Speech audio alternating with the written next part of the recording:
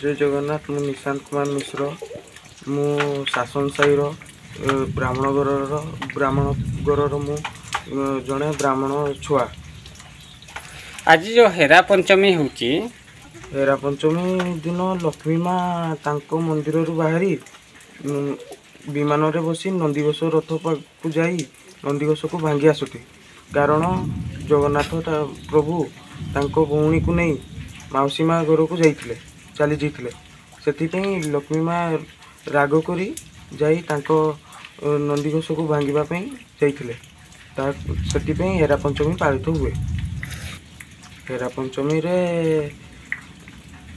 ଲକ୍ଷ୍ମୀ ମାଙ୍କ ପୂଜା ପୂଜା ପରେ ସରିଲା ପରେ ଜଗନ୍ନାଥଙ୍କ ମନ୍ଦିର ଜଗନ୍ନାଥଙ୍କ ମାଉସୀ ମାଙ୍କ ଘର ନିକଟକୁ ଯାଇ ସେଠାରେ ଏକ ପୂଜା କରିସାରିଲା ପରେ ଉଁ, ଲକ୍ଷ୍ମୀ ମା ତାଙ୍କ ଅ, ନନ୍ଦିଘୋଷକୁ ଭାଙ୍ଗି ଆସନ୍ତି ଫେରି ଆସନ୍ତି।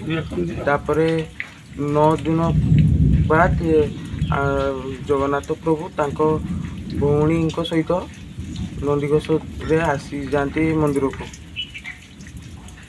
ଓଡ଼ିଶା ଭଏସ୍ ଟ୍ୱେଣ୍ଟି ଫୋର୍ ଭଲ ଗୋଟେ ନ୍ୟୁଜ୍। ଏବେ ଓଡ଼ିଶା ଭଏସ୍କୁ ମୁଁ ଧନ୍ୟବାଦ ଦେବି।